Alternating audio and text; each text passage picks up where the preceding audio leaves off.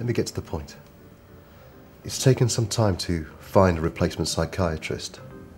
What with this ever expanding war in the East, experienced doctors are being snapped up by the military.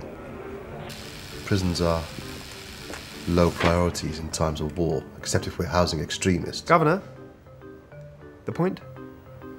The point is the Voorman problem. Voorman is a prisoner here.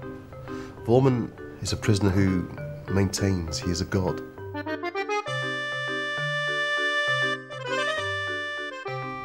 Would you mind telling me how long you have believed yourself to be a god? I may ask you the same question.